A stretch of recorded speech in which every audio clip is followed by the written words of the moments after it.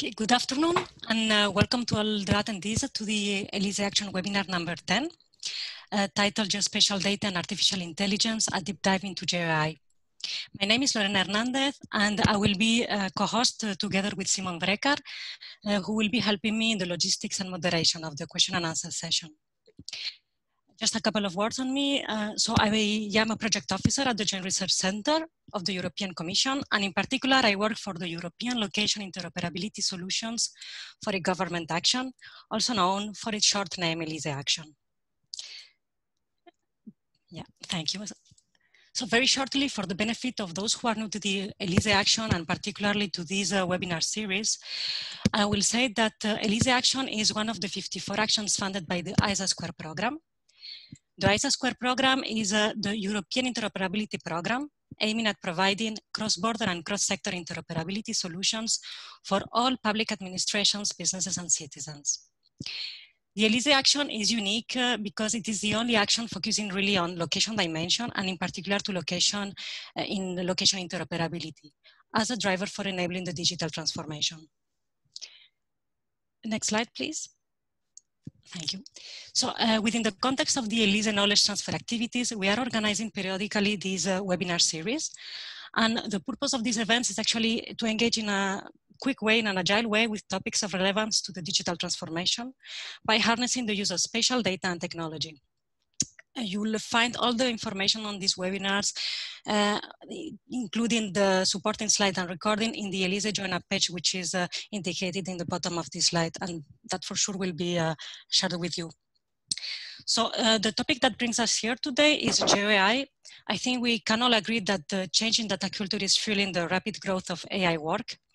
And in ELISE, we would like to reflect uh, on the role that geospatial plays in artificial intelligence. And more specifically, we would like to answer uh, one overarching question for this webinar. The question would be, uh, what is the potential of artificial intelligence for geospatial thinking? And how can geospatial data contribute to the momentum of artificial intelligence?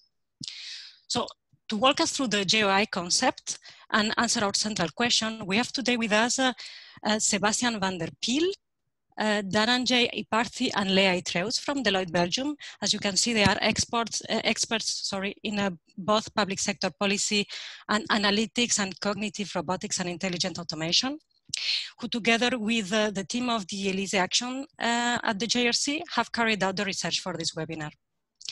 The colleagues from Deloitte will give a 40 minute presentation, which is divided into six different sections, plus uh, a follow-up question and answer session.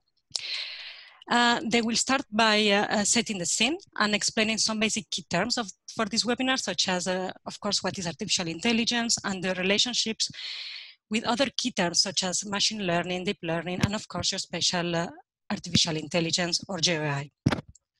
Once they find what GeoAI is, they will dive deeper into the concept to show what are the origins, the present, as well as the future trends expected for GeoAI, while highlighting the particularities of this sub-branch of AI.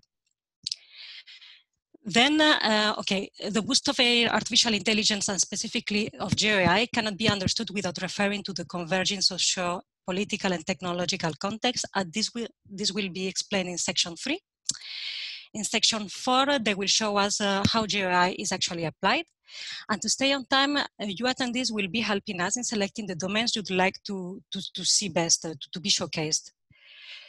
Then in section five, we will see what are the efforts and challenges in regards to interoperability. And finally, we will conclude by highlighting some key takeaway messages for the webinar. So before starting, uh, very quickly, um, uh, so the presentation, as I told you, will be of around 40, 45 minutes. Um, and then we will start the, the question and answer session please uh, use the chat box window to raise a question or comment that uh, comes, to your, comes to your mind during the webinar. We will try to address them afterwards. And uh, please, um, I mean, there will be, there are foreseen some polls during the presentation to get, to get input from you. If you are user, users of the Zoom app, be it uh, desktop or mobile, you will be, uh, I mean, you'll see prompting questions at different stages of the presentation. So with that, uh, I wish you a pleasant webinar. And without more delay, I hand over to Simon, who will be breaking the ice with some quick polls to understand uh, uh, some details from the audience. Thank you. Yes, thank you, Lorena, for this uh, nice introduction. So before we are starting uh, with the presentation, since you, the audience today is quite colorful, we would like to start uh, with some polling. Uh, so as you can see, in the next uh, half a minute, please uh, answer to this poll. So what is your affiliation and how familiar are you with the concept of Geo AI? so the poll is supposed to appear in your windows already if you are using the apps Yes, indeed. So you are voting.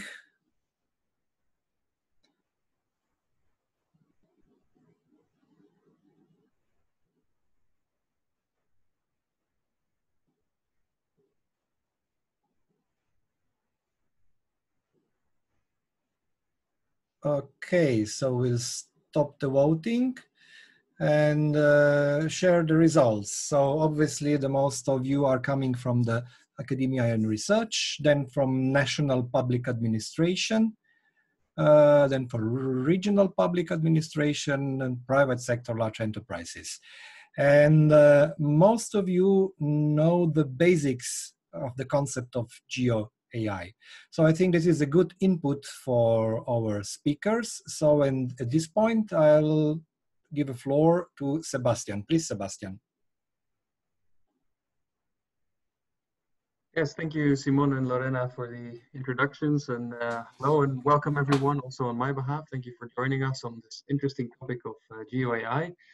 Um, I will take you th quickly through the introduction, setting the scene, and some key terms. Uh, as uh, most of you know the basics, I think then think these terms will be uh, somewhat familiar to you. Um, and then I will give uh, the word to my colleagues to go into the intro. What we're starting with here is a quote from the recent Commission white paper on artificial intelligence that sets out AI as a fast developing driver for change in many different domains. Uh, here are some mentioned healthcare, uh, farming, uh, climate change, um, production systems, manufacturing, security, and many, many others. Um, and we've also looked at many of these applications for the webinar uh, we have today, and we will touch upon these uh, later. So if you go to the next slide, um, we're looking more at uh, here, what is AI and what is the potential for geospatial thinking? Uh, so our own Deloitte AI lab defines AI as the field of computing where intelligent machines augment human cognitive capabilities and experiences. Uh, and so the main question here is what potential does that have for, for geospatial? Uh, and if you look at the equation on the middle of the slide here, um, you know, combining the increased availability of geospatial data, the advancements in the field of artificial intelligence, and the availability of massive computing power, that is what creates the momentum to contribute to mounting relevance of, uh, of the potential of AI.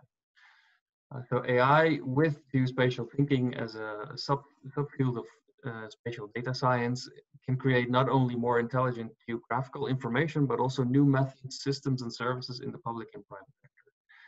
Uh, and this momentum also enables to maximize the use uh, of geolocated data, implementation of geospatial analytics, and development of location-based services. Uh, next slide. For this webinar, we'll use the definition of AI that uh, was also um, provided by the EU high-level expert group on AI. So artificial intelligence as systems, uh, software, uh, and possibly hardware designed by humans that, given a complex goal, act in the physical or digital dimension by perceiving their environment through data acquisition, interpreting the collected structured or unstructured data, reasoning on the knowledge or processing of the information, uh, derived from that data and deciding the best actions to take to achieve the given goal. AI systems can either use symbolic rules or learn a numeric model, and they can also adapt their behavior by analyzing how the environment is affected by their previous action. So if we go to the next slide, um, if we look at the relationships between between the different elements here, um, so intelligence and geospatial, the UN GGIM defines GeoAI as a subdiscipline of artificial intelligence using machine learning to extract knowledge from spatial data. That's what you see on the, right hand of this slide.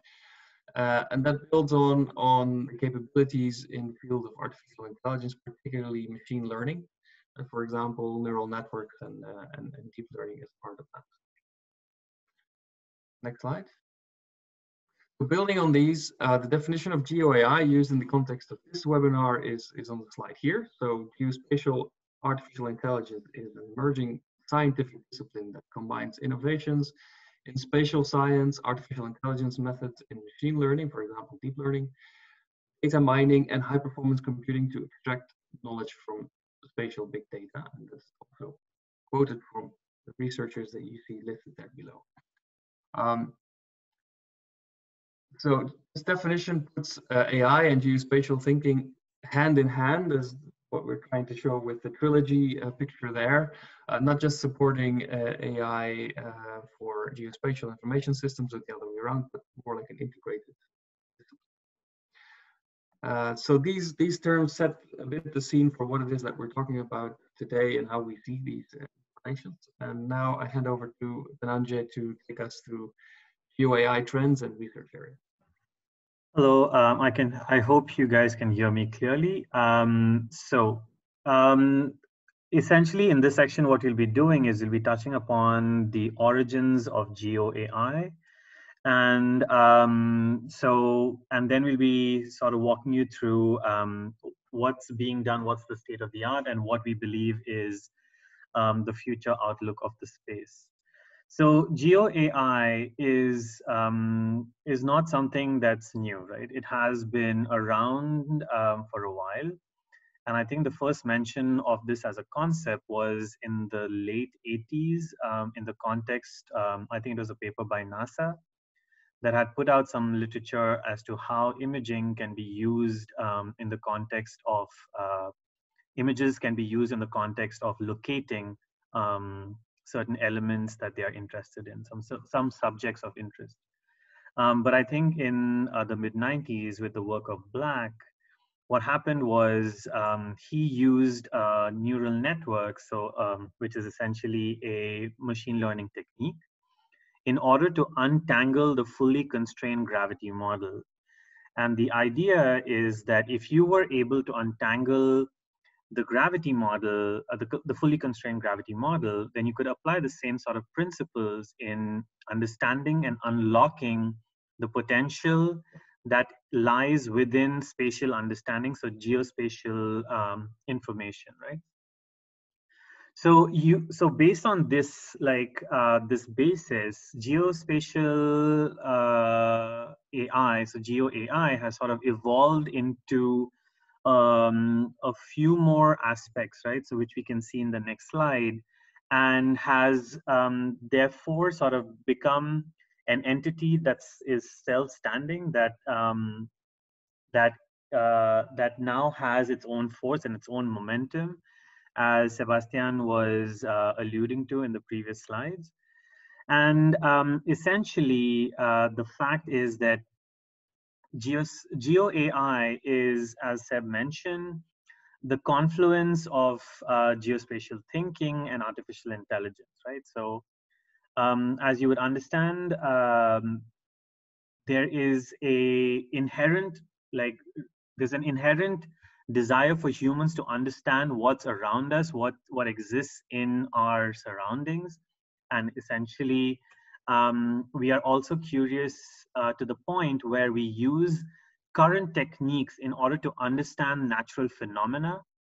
And that's where the confluence of geos, the like the information that's there in our in nature, as well as um, and uh, the advancement in artificial intelligence have given rise to some interesting sort of applications. For instance, real-time crop yields, um, vehicle routing, which I suppose we use on a regular basis, marine biome mapping, uh, gravity anomalies, and the likes of it. As you can see, um, these spread beyond the context. Um, if you could please go back.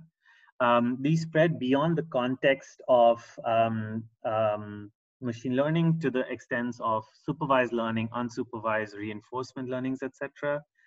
And uh, the uniqueness of um, Geo AI is its ability to um, handle both um, temporal and spatial features.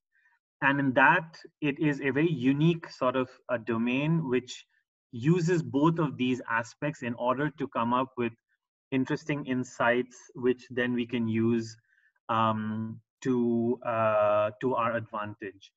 Um, now, where are we going with all this information? Um, so as we know that we are on the rise in terms of increasing our skills and uh, technical ability within the domains of artificial intelligence. So given the fact that um, with uh, AI, we are also evolving, uh, the, ge the geospatial domain is also evolving, what we see is this sort of interesting curve where we start off hyper ambitious uh, and we want like edge AI, auto ML, general intelligence, and such. But then we sort of get a little realistic through uh, in the trough of disillusionment, and eventually you have a plateau of productivity. And I think that currently we are uh, probably in the trough of dis- disillusionment, but I think it's more positive than that, right? So um, the future outlook would be that we look at what is what the advancements are in terms of algorithmics, in terms of uh, machine learning, and we use that with the wealth of data that's out there in order to make interesting applications and gain insights into what we have.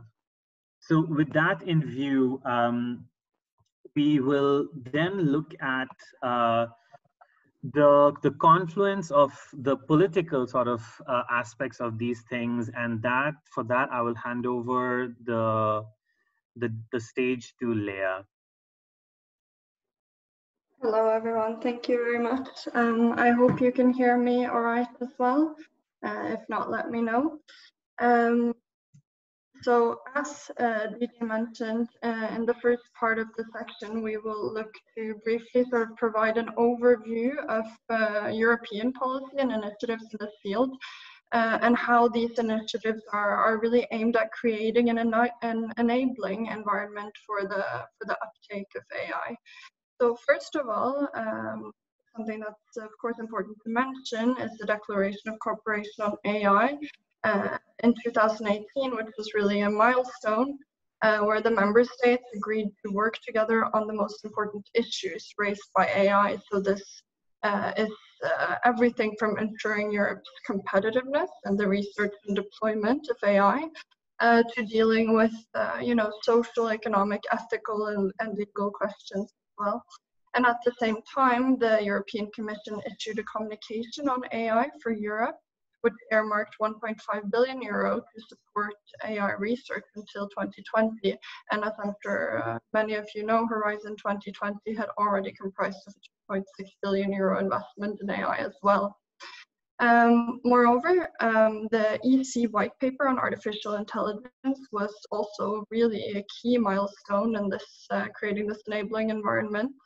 Uh, and it was a milestone in the sense that it's a coordinated political approach on the implications of AI and also a reflection on the better use of big data for innovation, which we know is highly important. Um, so interestingly, this uh, white paper promotes and reflects the policy based on two pillars, which is also kind of reflected in our webinar. So it's really about building a European ecosystem of excellence so this is about, of course, focusing on creating an environment that enables the uptake of AI technology, but also building a European ecosystem of trust. So here we're talking more about the regulatory environment that is necessary to foster this trust. So to this end, um, the high-level expert group published some guidelines on trustworthy AI in April 2019. Um, and last but not least, of course, we would also like to mention AI Watch, so the Commission's knowledge service to monitor uh, the development, uptake, and impact of AI for Europe. So its objectives are, uh, amongst others, to develop an overview and analysis of the European AI ecosystem, monitor the uptake and progress of AI technology, as well as um, an AI index, which will include dimensions relevant for policymaking. Um, and lastly, as, as um, some of the case examples we'll give you in this presentation will, will demonstrate, the uptake of GeoAI also touches upon many different policy areas and of course the successful interoperability between public services. So here we'll just highlight three points.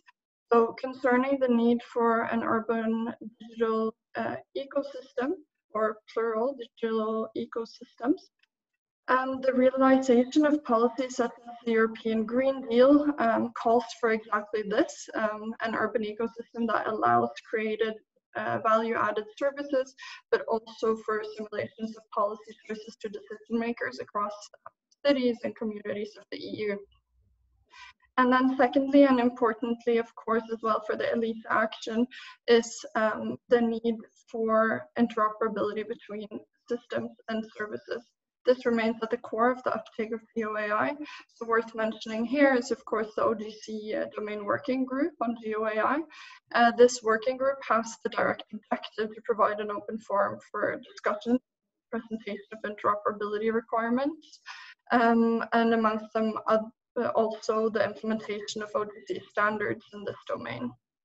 Um, lastly, of these three points is also the need, of course, for coherent and commonly agreed upon standards, where uh, there's uh, certainly many technical committees, we will highlight here um, ISO, that are working in the field of, uh, amongst others, AI and IoT to achieve uh, real working standards. So in sum, all of these elements will be key um, in creating an enabling environment in Europe for the uptake of Geo AI. Um, so for the purpose of this webinar, um, the findings of AI Watch uh, in their newly published report on AI and public services um, provided also a number of highly interesting insights, we think. So among them, they found that there is indeed um, a growing use of AI within governments, so this is often to support the redesigning of internal processes, enhance policy-making mechanisms, improving public service delivery, and engaging with citizens. And it was also found that there are certain policy sectors, and naturally so, where AI is, is more used. So we have general public services at 33% of the cases, and health and economic affairs also listed here. Um, and section four of this presentation will provide some case examples from some of these, uh, sectors. On that note, we will move to the more technical context. So please, uh, Davandre.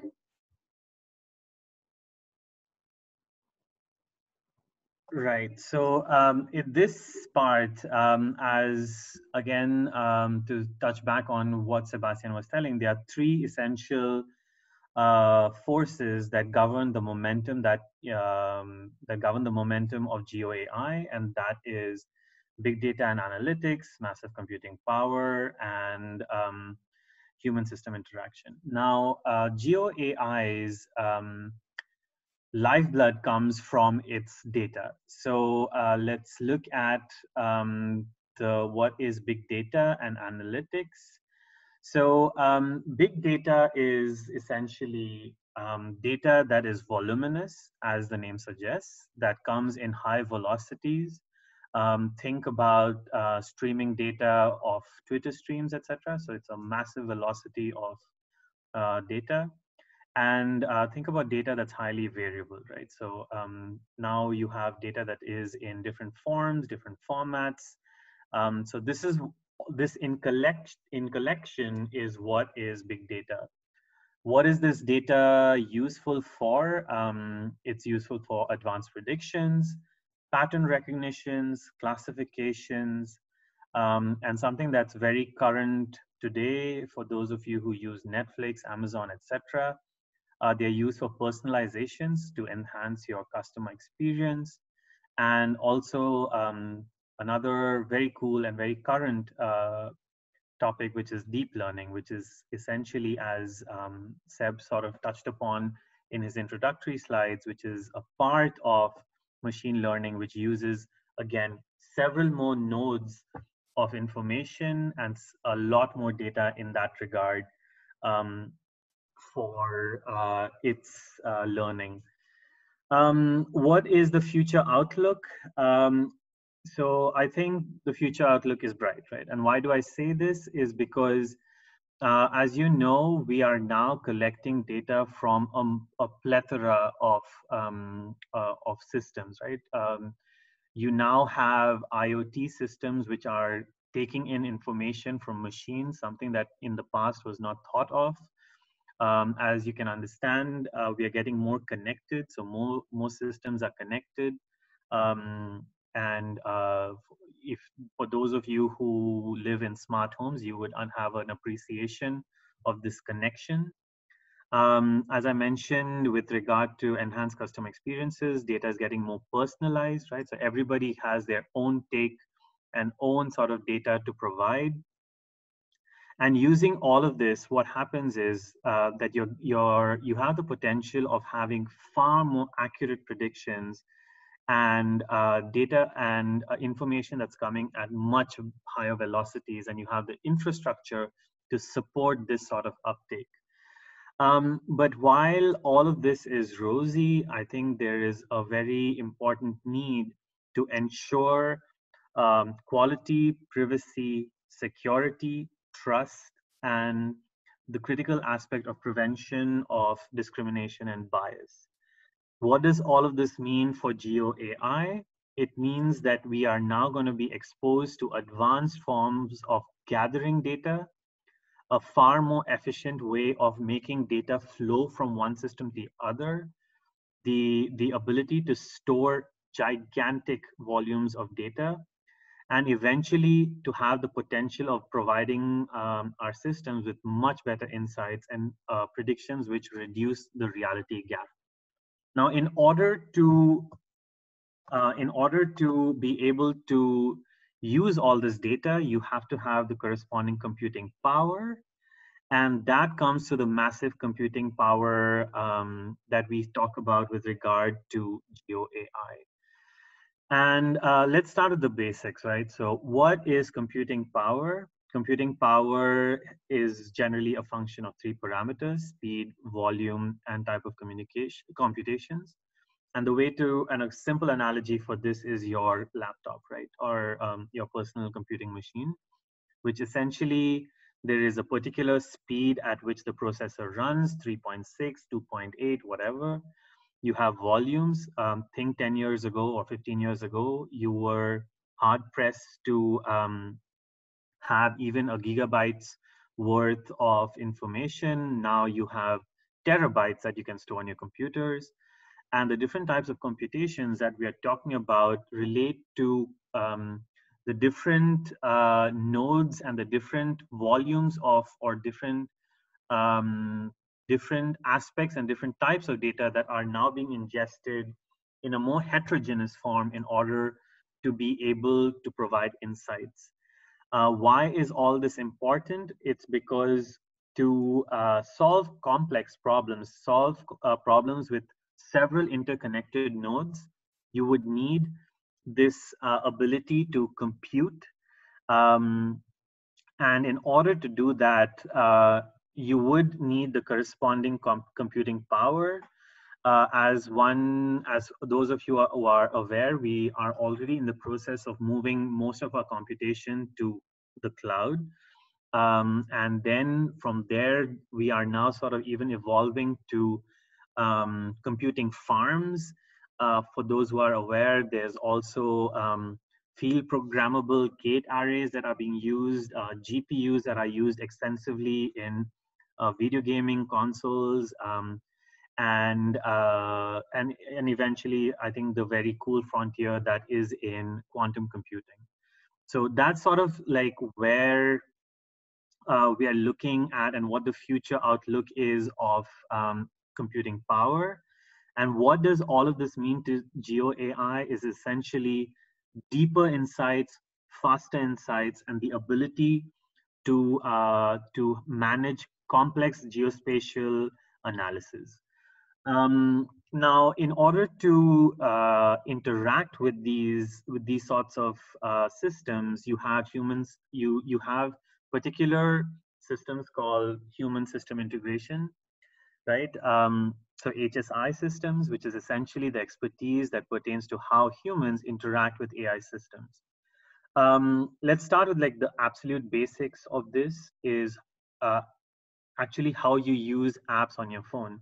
So the fact that you you type certain information, you swipe, you pinch, uh, you to to um, to uh, to zoom out, and you sort of spread your fingers to zoom into things. All of this is how we as humans are interacting with artificial intelligence systems. What can this be extended to? Uh, many, many things, right? So, uh, for example, on one extreme, you have the ability to guide swarms of robots using gestures. So here you're using simple gestures to interact with swarms of robots. And um, also the aspect of using virtual, augmented, and mixed realities, right? Which is also now becoming more and more uh, prevalent um, mostly in the in terms of entertainment, but slowly sort of creeping into research um, domains as well. So um, in this regard, um, it's also worthwhile to mention that um, chatbots are also an aspect of how we interact with artificial intelligence systems. And um, there was a very interesting study that was performed um, in the administrations of Latvia and the cities of Vienna and Bern which indicated um, how people were able to interact using chatbots with artificial intelligence systems. What does the future um, hold for us in this respect? Um, our realities could be enhanced or augmented with virtual, augmented, or mixed uh, reality uh, aspects.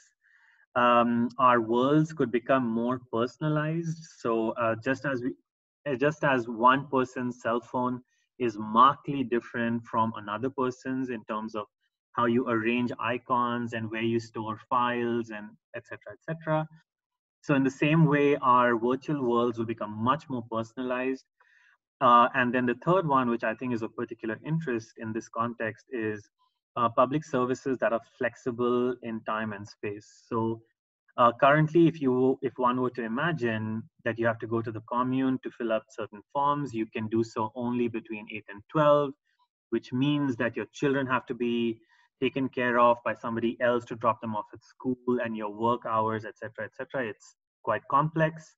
So um, perhaps going forward, what would happen is that we would be able to use public services at our leisure. So in bed uh, at 9 p.m you're able to use these public services. And this is what we into what also plays into the fact that we are able to use um, uh, human system interactions in order to carve out how we as humans are interacting with um, artificial intelligence systems.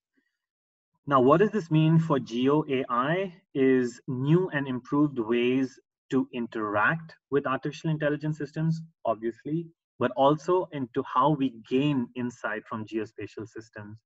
So um, if, you, if one were to imagine that you want to start doing some research uh, in, in a volcano, now you could recreate this volcano's innards using information that you've gathered that you can now immerse yourself into this sort of uh, environment without harming yourself, of course, and use tools like robotic systems once again to interact with unfavorable environments.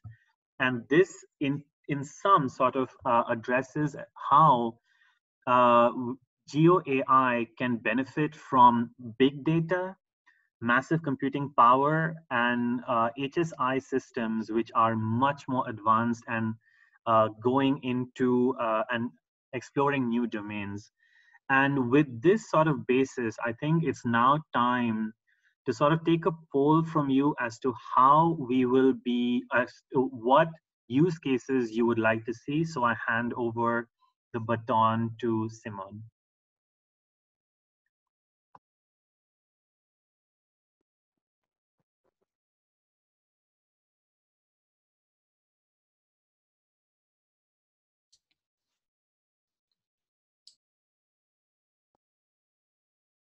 Simon? Perhaps you're on mute. Sorry for that. Yes, thank you. So, uh, so far, uh, uh, we've been through um, key definitions, um, basic concepts, political uh, context, and technical environments. It's now time to get into the real cases, to the real world. So there are many of them uh, in the presentations. Uh, however, we won't be able to present in detail all of them. so we'll launch a polling for choose from you from the uh, set of uh, next uh, use cases. So geo-enabled mapping, geo-enabled pollution tracking, mHealth applications and public health observatory, geo-AI for optimized freight transportation, satellite data and tracking fields, optimizing sugar beet production and predictive policing. So please choose up to two topics. I uh, give you another 15, 20 seconds and we'll choose th three most voted of them uh, that uh, uh, our presenters for Deloitte will go into details. So another 10 seconds, please vote.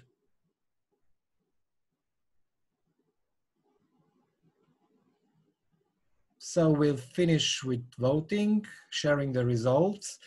So obviously the high, the top score is a Geo AI enabled mapping with 60%. Next one or next two are GeoAI-enabled pollution tracking and mHealth applications and public health observatory, both with 32%. Uh, so please, uh, uh, Leah, Sebastian, and then you uh, continue. Thank you very much, Simon. Um, so for the purpose of time, we'll dive right into it. Um, so this is this is the first case study that you were interested in. So here we're sort of looking at using GeoAI to close the map gap. So this uh, initiative is by Facebook in cooperation with the OpenStreetMap. Their initiative Map with AI and Rapid. So why um, why this project? Why highlight it? So it was, as I said, initiated by Facebook Artificial Intelligence, and it was started uh, to tackle two challenges specifically. So the first one uh, was the fact that creating accurate maps, uh, despite really significant uh, advancements in data availability, satellite imagery, and software, uh, still today remains uh, a burdensome and time-consuming task. Um, second uh, reason is also that large parts of the world, as we know, uh, remains unmapped still today. So this is both a development and a security challenge, um, and Facebook also highlights in this initiative their commitment to support uh, the humanitarian OpenStreetMap team uh, in their efforts to assist relief work through through this uh, project. So what is it really that we're talking about? Uh, here. So this system designed by, uh, by Facebook provides a new set of specialized map editing tools and services and an interface which is called Rapid. And this has been designed for mapping experts to also be able to review, adjust and verify the maps and hence uh, they're in this way uh, sort of maintaining a human dimension for quality review as well. So just to give you an example, uh, this model was used to map more than 300,000 miles of unmapped roads in Thailand uh, at the course of 18 months, and this was a part of an OSM initiative to create freely available maps. So Facebook estimated that it took less than half the time it would have taken if they had used a team of 100 mapping experts. So that's just to show you a little bit the impact of something uh, like uh, the system can have. So in terms of geospatial data, right? So Map with AI works in cooperation with OpenStreetMap to make their outputs and databases uh, completely compatible with geospatial databases and hence is also adding to this uh, strategic objective of, of ensuring free availability. When we're talking about AI, so in extracting roads from satellite imagery, uh, Map with AI uh, use fully convolutional neural networks for semantic segmentation. So this is in conjunction with large-scale weakly supervised learning. So as the image on this slide shows, on the left, um, you can see the results of the segmentation model per pixel prediction. So the bright magenta color means higher probability of the pixel belonging to a road. Whilst on the right, you can see a conflation of the vectorized road uh, data with the existing OSM road. So overall, uh, we think that this example shows how GeoAI solutions can impact the efficiency of mapping production and hence uh, also the ability to provide maps of previously unmapped areas and of course in this sense support development infrastructure um, as well as even humanitarian relief work. So we will move to the next one. Um, here we would like to highlight um, GeoAI in health and environment.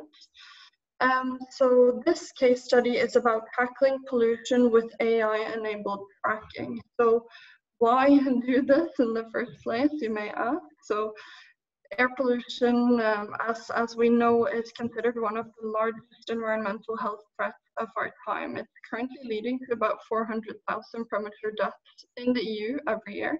This is an estimate from uh, the European Environmental Agency's air quality report from 2017.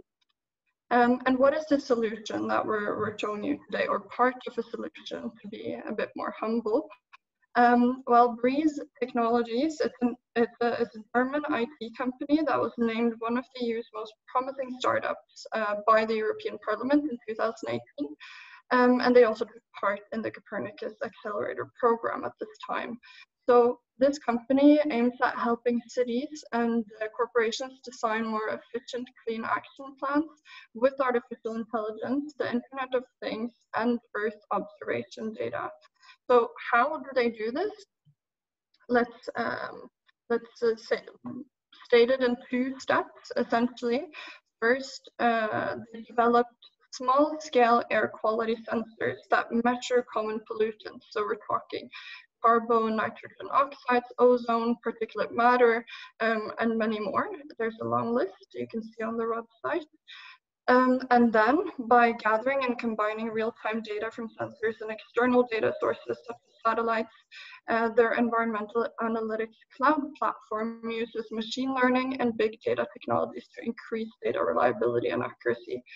So in sum, these insights uh, can allow for facility management, environmental scientists, and local governments to really understand air quality, what influences it, um, and how to improve it, of course. So sort of to recap, the geospatial element here is, of course, that the company gathers location and Earth observation data through sensors and satellites to map pollution in urban environments. And on the AI side, um, as mentioned, they use parameter estimation approaches to really accurately provide measurements based on sense data. So the air quality sensor produced by the company is said to be intelligent. It's said to be able to recalibrate itself based on what it's learning. And based on this, it can also predict necessary maintenance. So overall, we think that this example really nicely ties together how location data um, and AI-powered solutions can help tackle pollution by providing new insights to, to a range of stakeholders, really. We will move straight to the third case study. I believe this was the third one that you wanted to hear about today. So again, it's another um, case study in the field of public health and environment, and it's the PULSE project, um, and it's mobile health application care. Um, so why we're, we're showcasing this example is really that um, in a sense as more and more data becomes available, um, we currently have more knowledge on causes and triggers for diseases than ever before. So we can start to imagine really a public health care system that moves from reactive to predictive and how that could really save both lives and significant uh, public expenditure. Um, and then you may ask, how can GeoAI contribute to this? More specifically, you know, how can GeoAI provide the necessary insights for decision makers to move in this direction? So this project is really interesting in that sense. So what is it all about? PULSE stands for Participatory Urban Living for Sustainable Environment. So it's a Horizon 2020 project with really tangible results it's a consortium of 13 partners, private to public, small to large. Um, and the project collaborated with seven smart cities in response to the EU urban agenda and current drivers of public health risks. So this project created the mobile health app PulseAir, as well as a public health uh, observatory, excuse me, that also has a visual dashboard for policymakers.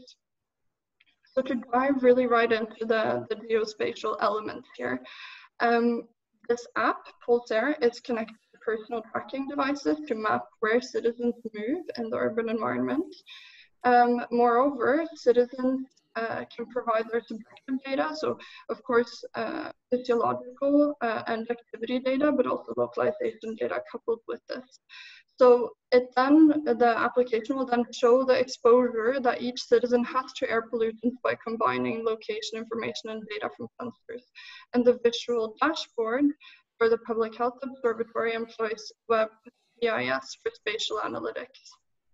So just to, to recap the AI elements here, we see that um, regarding uh, artificial intelligence, this app takes the data input and provides information about the health risk. So in this case, it's actually asthma and type 2 diabetes to the users and suggests specific uh, behavioral modifications to each individual uh, that's delivered through a specific logic of supportive feedback. Um, and secondly, this data is also presented, as I've, as I mentioned, in a visual dashboard available to public health decision makers. So this dashboard uses GeoAI by uh, providing exploratory analytical tools uh, complemented by WebGIS. Um, and this combined is a tool that enables spatial analytics. So this is really meant to support public uh, health officials in the design of health promotion interventions and can even suggest certain interventions at certain times. So in sum, um, this project uses analytical tools and location data to formulate really tailored policy interventions at both individual and larger societal level it's powered by data mining, simulations, leveraging spatial temporal geolocated data, and uh, knowledge-driven analysis. So we hope that this gave you some, some insight and specific applications. As you see here, we have quite a few um, examples um, that will be available to you shortly after this webinar. So on that note, we will discuss interoperability efforts and challenges. Okay, before to going into the next section, so now uh, having acquired, let's say, some additional knowledge on GeoAI, uh, nevertheless, there were quite many examples are listed in the presentations, uh, which you will receive after the uh, this uh, webinar. So uh, from your own experience, do any other examples come to your mind? So please uh, vote uh, so in next 10 15 seconds in case uh, you have some new examples uh, would you mind to maybe post your examples in the chat box? So we can maybe later share it with the with the, with the audience.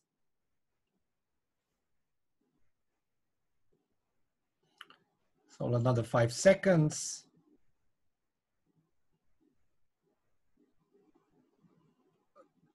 Thank you very much. So mostly you don't uh, have any new, uh, let's say, examples, but there were seven answers having new examples. So please uh, just uh, put these examples in the uh, in in the, uh, in the in the chat box. So thank you very much for polling. So since ELISE is about interoperability, actually location interoperability, one of the sections of this webinar is dedicated also to that questions and challenges. So please uh, continue. Yes, uh, I will take the first slide on that, uh, and I'll try to be very quick given, the time. Uh, as already explained by Leah, uh, you know, enabling uh, all these different kinds of applications of GeoAI requires tackling interoperability challenges, and and there are efforts to address. Um, whereas UN uh, GGIM mentions clearly that you know quality assurance and standards are still in their infancy. There are efforts that are picking up to, to work on standardization as, as machine learning for geospatial is being adopted more and more by public and private parties. Um, The standards are key to enable interoperability in support of, the, of such a mass deployment and adoption of AI in this field. And uh, this is key for enhancing also, as mentioned earlier, the trustworthiness of, of AI as it becomes more widespread, as well as standardization of algorithms, uh, computational techniques, uh, which allows a higher level of adoption in, in general. And so bodies and institutions are working to address these, uh, these standardization issues, uh, such as uh, ISO, for example, who has two technical committees working on standards related to GeoAI, uh, like Committee on AI that has published five standards and uh, is working on 14 uh, in addition, among them on trustworthiness of AI, for example. Um, as well as the technical committee on IoT and related technologies, which has published already 26 standards and there are seven under development, uh, among them a framework for interoperability by IoT systems, for example.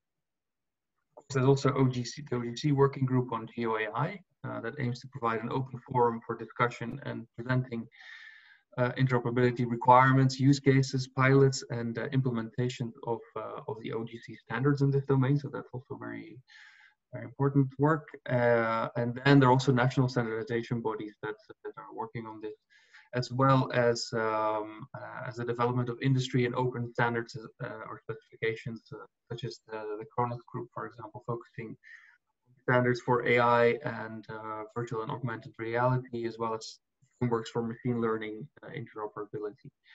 Uh, which we'll go uh, in a bit more depth on in the next slide. Uh, there's also uh, the Joinup page uh, on the rolling plan for ICT standardization that uh, also provides information on uh, standardization activities on AI there. So that's a very interesting resource. Then Anjay? Yes.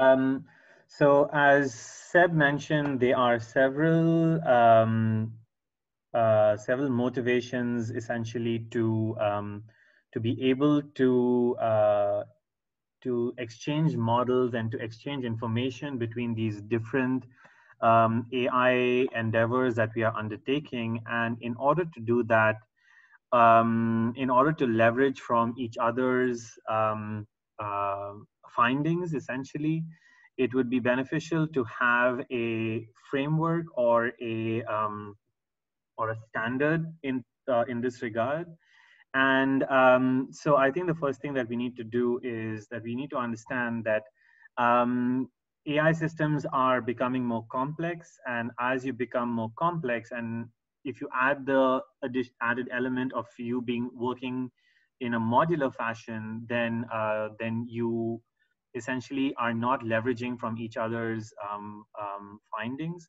So you, it's it's always beneficial to sort of be able to interoperate and to use this information um, uh, in a more collective manner. And in this, you have the opportunity, um, which then allows one to use these models seamlessly uh, between different applications. So essentially what's being sort of addressed over here is that you have a uh, disjointed system, which you then sort of um, join by creating the necessary frameworks and or standards. And in this regard, um, there are frameworks such as those provided by ONNX, NNEF, EMML, etc., which uh, provide that sort of basis.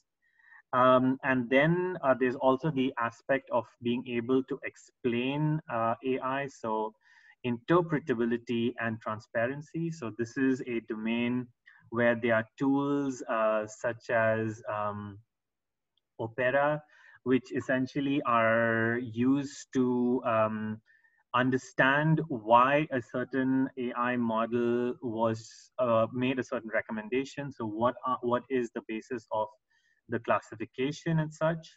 Um, what is the challenge with regard to Geo AI? Essentially, to be able to um, a use these different aspects of different uh, models and then to address what is critical to uh, all things geo AI, which is the spatial and temporal aspects, right? So to remove that bias, which um, which could creep in, um, that is an aspect that should be addressed. And uh, in order for geo AI's um, potential to be uh, maximized. So, um, given all of this information, I think that there are a few key takeaways um, and messages that uh, we shall try to sort of um, go over really quickly in order to um, sort of bring this uh, a webinar to a close. The first is that there are opportunities galore, right? So um, what we are, what's happening right now is that you're getting newer, uh, deeper, uh, and more voluminous information, more data, which um, is only going to continually increase. So that is already a good sign because more data, more insights.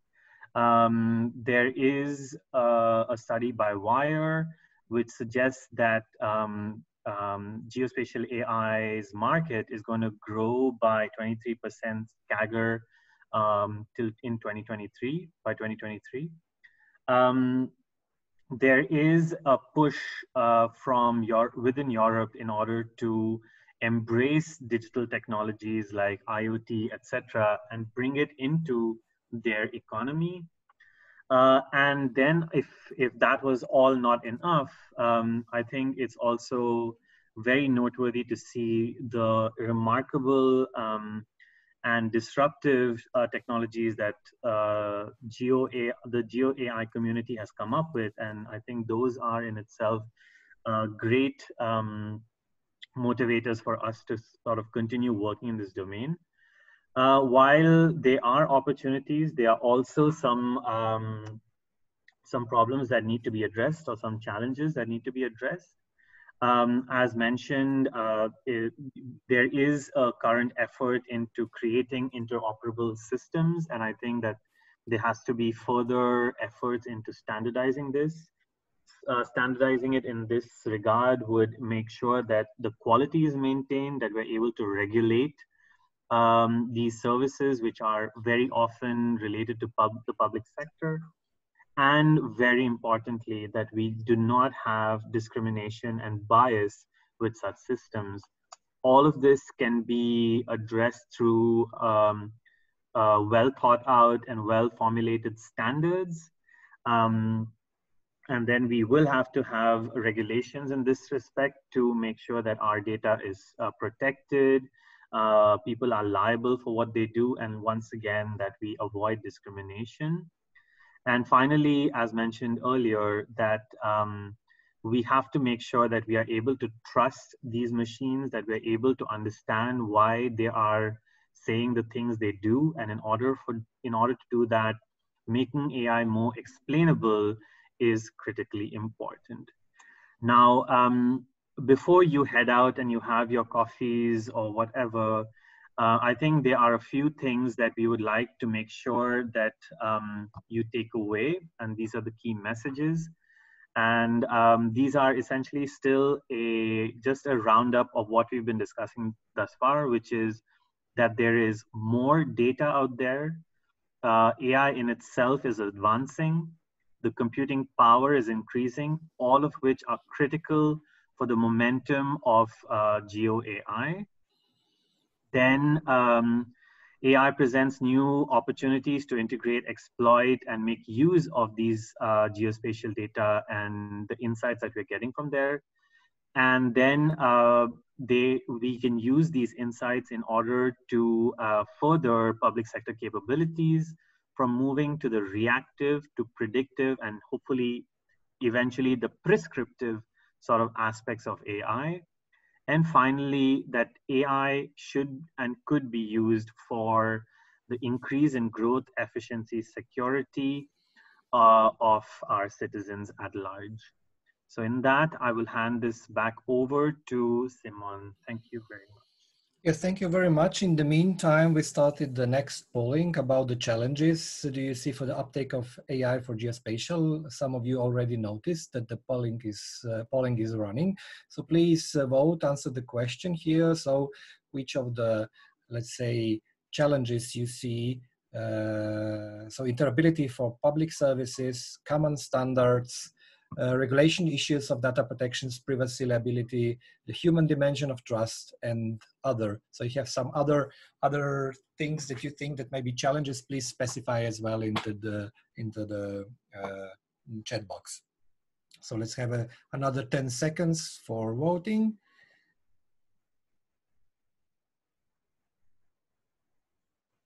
Okay, so let's share the results. So what is uh, quite obvious is that uh, regulation issues uh, were 53% of you thought that is the biggest challenge. The next one would be interoperability for public uh, uh, services. Uh, then the human dimension of trust and common standards so okay so we actually with this are at the end of the, the, the content uh, of the webinar. Uh, so before we continue uh, i would like to run another poll with a question how would you rate this webinar? Uh, so were you satisfied more than satisfied very satisfied partially not at all satisfied?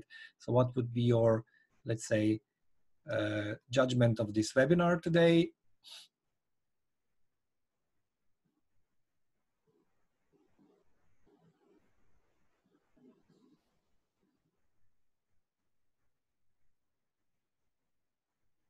So let's have another five seconds for voting.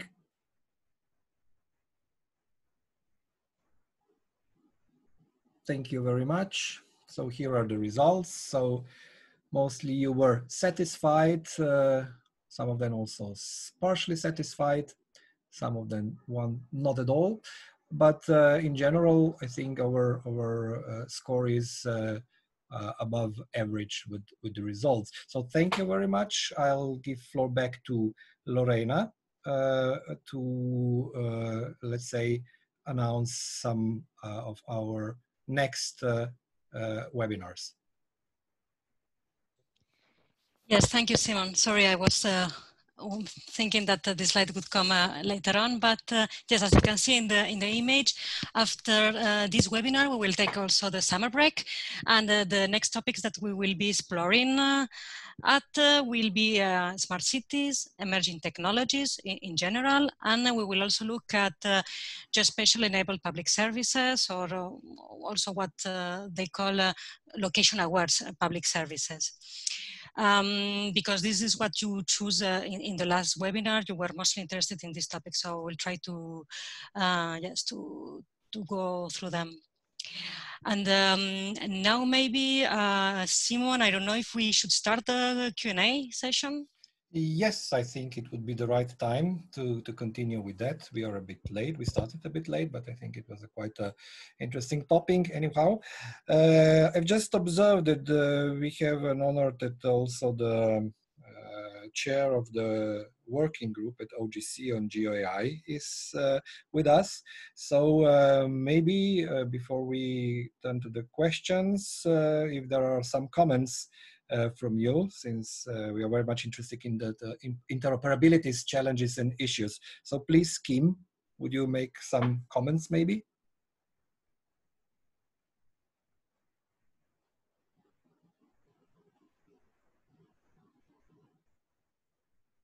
Can you hear us, Kim?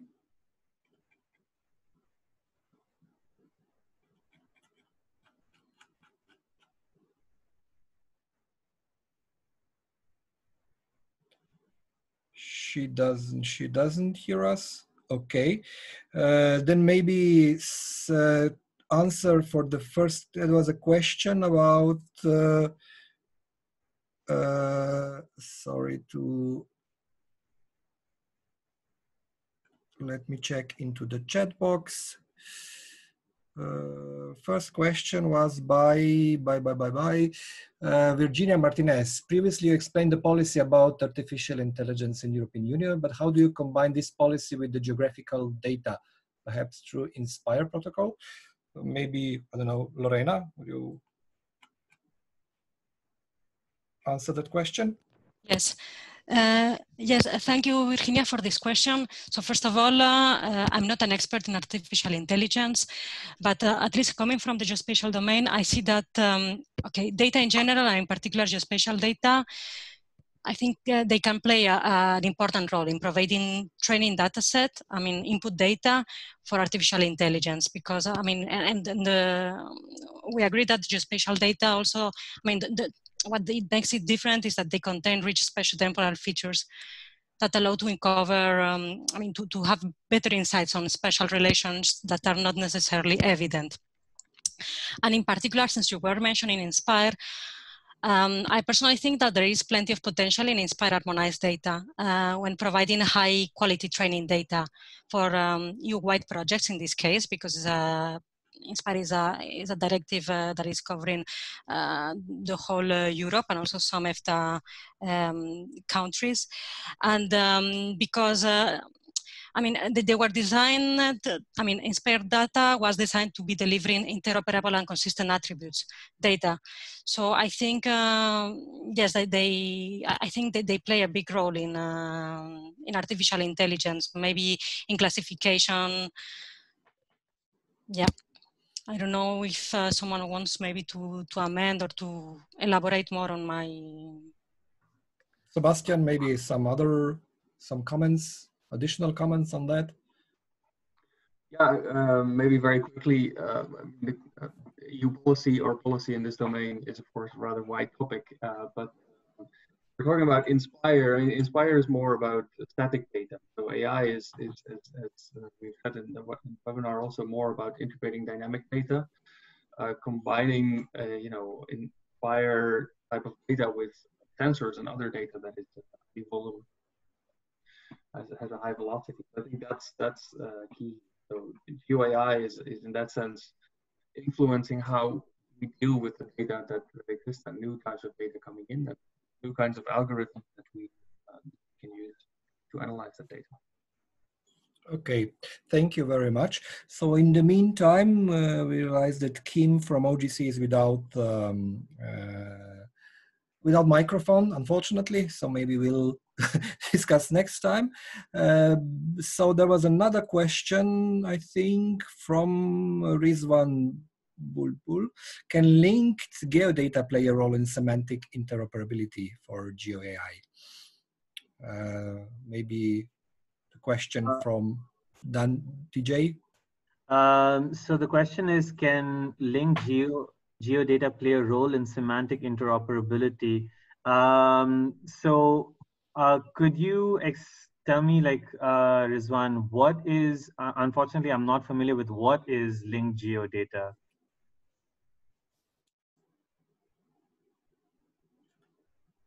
Um, or Simon, Lorena, if you are familiar, could you just lay the foundation for that? And then I can happily give you my perspective on that. And maybe Lorena? I mean, uh, the first thought that comes to my mind, uh, I mean, um, relates a lot with the answer that I gave uh, earlier. I think that, um, yes, uh, GeoLink data uh, could have also a big role in training data because it's, but I mean. What is it fundamentally, if I may ask? So, I mean, I'm I don't have a definition right now, but okay, the idea okay. is that uh, there are ontologies uh, uh, in the background that are like uh, giving the relationships of uh, what each uh, right. concept is, and then you can link the different terms together and and also data. I mean, it's, it's like putting data on the web yep. through annotated um, so, information. Yeah. Right. So Rizwan, I think in this regard, right? So your uh, if you're talking about the semantic web and then the web ontology language, etc. Of course, right? So you are you are creating a sort of level playing field with which you can sort of exchange data in a more um, in a more let's say systematic way. And of course, there's without a doubt that I think that um, having linked geodata would definitely uh, in, uh, will definitely assist in the interoperability of GeoAI without a doubt. Uh, and in that, I think the only, let's say, um, downside is uh, the adoption of these uh, standards, right? And to essentially, how do you enforce these things? So that's one aspect of it. And because to coming up, to come up with these standards often is not such a straightforward way that you know suits everybody's system so that's something that i believe would potentially provide a sort of hurdle. But apart from that, the potential is definitely there that it will help. Yes. So maybe maybe some additional comments from Danny here, Danny Vandenbroucke from KU Leuven. Danny? Um, yeah, maybe in addition to what has been said uh, until now, um, it's worthwhile to mention that in the domain working group that was mentioned of the OGC on Geo AI, uh, this uh, issue was already tackled in some of the meetings with some particular presentations. Uh, but more in general, not specifically linked that is more a technology and a way of storing and handling the data. But uh, of course, semantic web is a lot richer with the ontologies, etc., that were already mentioned. But I think what is important is the way we will, um, in fact, uh, exchange or interact as a user and as an analyst with our huge data sets and the way we uh, request or handle the data or question the data to find answers. I think there uh, semantic web might play a very important role. Uh, also in the way we um, we query the data, not in a traditional way, but their semantic web and linked data technology can help tremendously because it's much closer to how we reason as a human being rather uh, than as a machine, but then we have this interaction with the, with the machine that will help us to uh, get insight out of this huge amount of data with uh, artificial intelligence. But it's important that this topic is explicitly on the agenda to see and to check how semantic standards can help to facilitate this. Indeed. Thank you very much, Danny, for this uh, uh, additional comments on that. So before there are no other questions, before we finish, maybe I can also see here is also Jiří Hradec from JRC. He's also doing some work uh, on AI and related with the with the interesting topic of COVID. So maybe Jiří, can you elaborate maybe in few sentences uh, what uh, you are doing as well at JRC on that topic? Yeah, hello all. Can you hear me? Yes. Yeah, excellent. Uh, I work in the same unit as uh, colleagues uh, who prepared this seminar, and uh, uh, I work on um, let, us say more moonshot projects. Uh, at, at, the moment, the, the most important part of my work is building synthetic populations because our biggest disadvantage when trying to understand uh, how policies are being implemented, how policies are being designed, are that uh, we work on over aggregated data. So uh, how to resolve the, the clash between the need for privacy and uh, the two generic data. This is how we approach it. And uh, when the COVID crisis started, uh, we were approached by the COVID task force. And what we do is COVID contact simulator, where uh, we take the synthetic population uh, down to, let's say, individual level. Uh, then uh, we build a graph, uh, people li living in households, households being part of a real houses. And this way we know mobility of people, and uh, we are able to uh, bring in, let's say, behavioral profiles. Uh, the, the nice part on this is this is uh, all what we can call artificial intelligence. Of course, AI doesn't exist. Uh, this is just a bunch of uh, uh, machine learning algorithms from iterative proportional fitting down to reinforced learning. So the, the beauty of this is that we simply overcome all the privacy issues because all our data are at one side synthetic on the other side they they are fully uh, they have the same representation statistical representation as the original data so uh, we are able to use probabilities we and uh, the best of it all is uh, the level of realism that we are able to achieve against the ground truth is several orders of magnitude bigger than uh, working on the data aggregates Mm -hmm. Okay, thank you very much, Jiří, also for that uh, uh, explanations.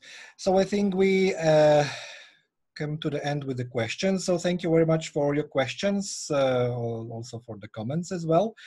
And uh, giving back floor to Lorena to finish the webinar. Yes. So uh, again, thank you to all of you for having attended. Uh, we finish only with uh, our coordinates. Uh, please join us, join our, the ELISE community and Joinup to stay tuned to all the events, all the reports, all tools that we are producing. You can also follow us on Twitter. Uh, there's a functional mailbox if you prefer. And uh, we also have an ELISE playlist in YouTube that, uh, where you can replay all these webinars and other contents. So I hope to see you after uh, the summer break. Ciao. So have a nice summer break. Bye-bye. Thank Bye-bye. you.